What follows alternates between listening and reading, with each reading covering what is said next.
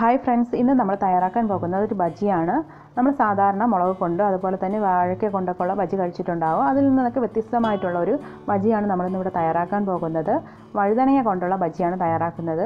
അതിനായിട്ട് നമുക്കിവിടെ രണ്ട് വഴുതനങ്ങ വേണം. അതിനായിട്ട് ഇവിടെ അത്യാവശ്യം വലിയ രണ്ട് വഴുതനങ്ങ ഞാൻ എടുത്തിട്ടുണ്ട്. ഇതിപ്പോൾ വീട്ടിൽ തന്നെ ഉണ്ടായിട്ടുള്ള വഴുതനങ്ങയാണ്. ഇതുപോലത്തുള്ള വഴുതനങ്ങ നമുക്ക് മാർക്കറ്റിൽ നിന്നും കിട്ടും. ഇനി നമുക്ക് ഇതുപോലെ ഒന്ന് കട്ട് ചെയ്ത് കൊടുക്കുക. എന്നിട്ട് ഇതൊന്ന് രണ്ടായിട്ട് കട്ട് ചെയ്തെടുക്കുക. എന്നിട്ട് നിങ്ങൾക്ക് ഇഷ്ടമുള്ള വലിപ്പത്തിൽ ഇതൊന്ന് കട്ട് ചെയ്തെടുക്കുക. ഇതിപ്പോൾ ഞാനൊരു നാല് പീസായിട്ടാണ് കട്ട് ചെയ്തെടുക്കുന്നത്. ഇതേപോലെ ഒരു പീസ് രണ്ട് ഇതാക്കുക. നിങ്ങളുടെ സൗകര്യം എങ്ങനെയാണെന്ന് വെച്ചാൽ അങ്ങനെ ചെയ്യുക ഇതിപ്പോൾ നല്ല പിഞ്ച് വഴുതനങ്ങയാണ്. ഒരുപാട് കുരുമുറ്റി പോവാത്ത വഴുതനങ്ങ നോക്കിയിട്ടാണ് വജിക്കെടുക്കേണ്ടത് അല്ലെങ്കിൽ വജിക്ക് ഒട്ടും ടേസ്റ്റ് ഉണ്ടാകത്തില്ല. ഭയങ്കര കട്ടിയായിരിക്കും ഈ തൊലി. അപ്പോൾ ഇതിപ്പോൾ നല്ല സോഫ്റ്റ് ആയിട്ടുള്ള ഒരുപാട് മുറ്റി പോവാത്ത വഴുതനങ്ങയാണ്.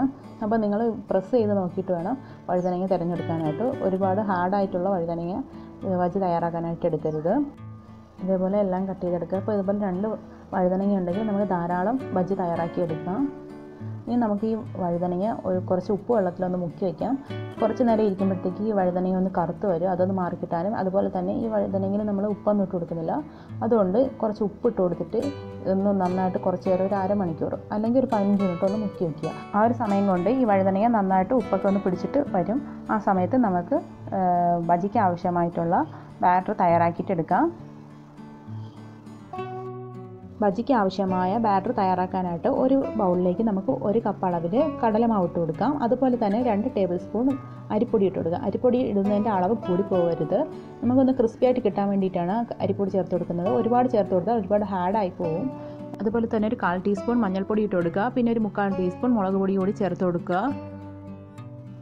അതുപോലെ തന്നെ ഒരു കാൽ ടീസ്പൂൺ കായപ്പൊടി ചേർത്ത് കൊടുക്കുക. പിന്നെ നമുക്ക് ഈ ബാറ്ററിന് ആവശ്യമായ ഉപ്പ് കൂടി ചേർത്തിട്ട് നന്നായിട്ട് അങ്ങ് മിക്സ് ചെയ്ത് കൊടുക്കുക.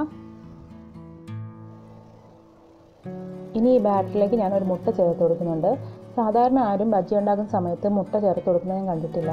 അപ്പോൾ ഞാൻ ഈ മുട്ട ചേർത്ത് കൊടുക്കുന്നത് എന്തിനെന്ന് വെച്ച് കഴിഞ്ഞാൽ ഈ മാവ് നമ്മൾ ബജ്ജി ഉണ്ടാക്കുന്ന സമയത്ത് നന്നായിട്ട് പൊങ്ങിയിട്ട് കിട്ടും. അതുപോലെ തന്നെ ഈ ഏത് വെജിറ്റബിളാണോ നമ്മൾ എടുക്കുന്നത് ആ വെജിറ്റബിളിൽ നന്നായിട്ട് ഈ ബാറ്റർ കോട്ട് ചെയ്തിട്ട് കിട്ടും. അതുകൊണ്ട് ഞാൻ ഇതുപോലെ ഒരു മുട്ട ചേർത്ത് കൊടുക്കും. നിങ്ങൾക്ക് ഇതുപോലെ ഒരു മുട്ട ചേർത്ത് കൊടുക്കാൻ ഇഷ്ടമല്ലെങ്കിൽ അതിന്റെ വൈറ്റ് പോർഷൻ ചേർത്ത് കൊടുത്താലും മതി. അപ്പോൾ ഈ ഒരു മുട്ട ചേർത്ത് കൊടുക്കുന്ന സമയത്ത് നമുക്ക് ഈ ബജിക്ക് നല്ലൊരു ടേസ്റ്റ് കിട്ടും. അപ്പോൾ ഞാൻ ഏത് ബജി ഉണ്ടാക്കിയാലും അതുപോലെ ഒരു മുട്ട ചേർത്ത് കൊടുക്കാറുണ്ട്. ഈ മുട്ട ഇങ്ങനെ ഉടച്ചൊഴിച്ചിട്ട് നന്നായിട്ടൊന്ന് മിക്സ് ചെയ്ത് കൊടുക്കുക. അതിനുശേഷം കുറച്ച് വെള്ളം ഒഴിച്ചിട്ട് ഈ മാവ് നന്നായിട്ടൊന്ന് മിക്സ് ചെയ്തെടുക്കുക. ഒട്ടും തന്നെ കട്ടയില്ലാതെ വേണം നന്നായിട്ടൊന്ന് മിക്സ് ചെയ്തെടുക്കാനായിട്ട്. കുറേശ്ശെ വെള്ളം ഒഴിച്ചിട്ട് വേണം ഇതുപോലെ ഒന്ന് മിക്സ് ചെയ്തെടുക്കാനായിട്ട്. നമ്മൾ ഒരുപാട് അങ്ങ് ലൂസായി പോകാനും പാടില്ല ഒരുപാട് അങ്ങ് ഹാഡായി പോകാനും പാടില്ല. ഒരു കറക്റ്റ് ഒരു കൺസിസ്റ്റൻസിയിൽ വേണം ഇതൊന്ന് മിക്സ് ചെയ്തെടുക്കാനായിട്ട്. നല്ല ഇതുപോലെ നല്ല സോഫ്റ്റായിട്ട് വേണം മാവ് ഒന്ന് ബീറ്റ് ചെയ്തെടുക്കാനായിട്ട്. ഇപ്പോൾ നമ്മുടെ ഇവിടെ ബാറ്റർ റെഡി ആയിട്ടുണ്ട്. ഇതേ ഒരു രീതിക്ക് വേണം കിട്ടാനായിട്ട്. നമ്മൾ നേരത്തെ ഉപ്പിൽ മുക്കി വെച്ചിട്ടുള്ള വഴുതനങ്ങ എടുത്തിട്ട് ഒന്ന് ഈ വെള്ളമൊക്കെ കളഞ്ഞിട്ട് എടുക്കാം. ഇപ്പോൾ ഏകദേശം ഇതിൽ ഉപ്പൊക്കെ ഒന്ന് പിടിച്ച് വന്നിട്ടുണ്ട്. ഇതായി വെള്ളമൊക്കെ കളഞ്ഞിട്ടെടുത്തിട്ടുണ്ട് നമുക്കിതങ്ങ് ഫ്രൈ ചെയ്യാം.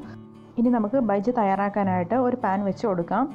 പാനൊന്ന് ചൂടായി വരുന്ന സമയത്ത് നമുക്ക് ഓയിൽ ഒഴിച്ച് കൊടുക്കാം. ഓയിലൊന്ന് ചൂടായി വന്നിട്ടുണ്ട്. ഇനി നമുക്ക് ബജ്ജി തയ്യാറാക്കാം. നമ്മുടെ ബജ്ജി തയ്യാറാക്കുന്ന സമയത്ത് ഒരു മീഡിയം ഫ്ലെയിമിലിട്ടിട്ട് വേണം ബജ്ജി അതിലേക്ക് ഇട്ട് കൊടുക്കാനായിട്ട്. അല്ലെങ്കിൽ പെട്ടെന്ന് തന്നെ പുറം ഭാഗം കരിഞ്ഞു പോകും. നമുക്ക് ഉള്ളിലുള്ള വഴുതനയൊക്കെ ഒന്ന് വെന്ത് കിട്ടാൻ വേണ്ടിയിട്ട് ഒരു മീഡിയം ഫ്ലെയിമിൽ ഇട്ടിട്ട് ഇടയ്ക്കിടയ്ക്ക് ഒന്ന് തിരിച്ച് മറിച്ചിട്ട് ഇട്ട് വേണം ഫ്രൈ ചെയ്യാനായിട്ട്. എന്നാലേ ഉള്ളൊന്നും വെന്തിട്ട് വരുള്ളൂ. അല്ലെങ്കിൽ പുറം പെട്ടെന്ന് അങ്ങ് കരിഞ്ഞു പോകും.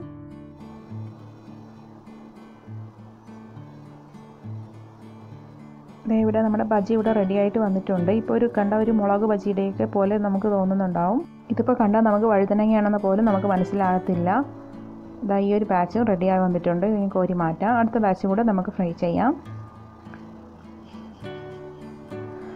കുട്ടികളൊക്കെ നമ്മൾ വഴുതനങ്ങ കൊടുത്തു കഴിഞ്ഞാൽ അവർ കഴിക്കത്തില്ല. അവർക്ക് നമ്മൾ ചോറിന്റെ കൂടെ കൊടുത്തു കഴിയുമ്പോൾ അവരത് മാറ്റി വയ്ക്കും അപ്പോൾ അവർ അവരിത് കഴിക്കാത്തൊരു സമയത്ത് നമ്മൾ ഇതുപോലെയൊക്കെ ഫ്രൈ ചെയ്തിട്ട് കൊടുത്തു കഴിഞ്ഞാൽ അവർ വഴുതനങ്ങയാണെന്ന് പോലും അറിയാതെ കഴിച്ചോളും. ഈ ഒരു ബാച്ചും റെഡി ആയിട്ടുണ്ട്. ഇതിപ്പോൾ വഴുതനങ്ങയാണെന്ന് പോലും നമുക്ക് മനസ്സിലാകത്തില്ല. പെട്ടെന്നൊരു ഗസ്റ്റൊക്കെ വന്നു കഴിഞ്ഞാൽ നമുക്ക് ഒരു വഴുതനങ്ങ ഉണ്ടെങ്കിൽ ധാരാളം ബജി ഇതിൽ നിന്ന് തയ്യാറാക്കാം. നല്ല ടേസ്റ്റി ആയിട്ടുള്ളൊരു റെസിപ്പിയാണ് നിങ്ങളൊക്കെ വീട്ടിലൊന്ന് ട്രൈ ചെയ്ത് നോക്കുക. ഇഷ്ടമായിട്ടുണ്ടെങ്കിൽ ഹോട്ട് ഫുഡിനെ ഒന്ന് സപ്പോർട്ട് ചെയ്യുക. നിങ്ങളെന്റെ ചാനൽ ആദ്യമായിട്ടാണ് കാണുന്നത് എങ്കിലൊന്ന് ഒന്ന് സബ്സ്ക്രൈബ് ചെയ്യുക. അപ്പോൾ പുതിയൊരു ഫോമായിട്ട് വീണ്ടും വരാം.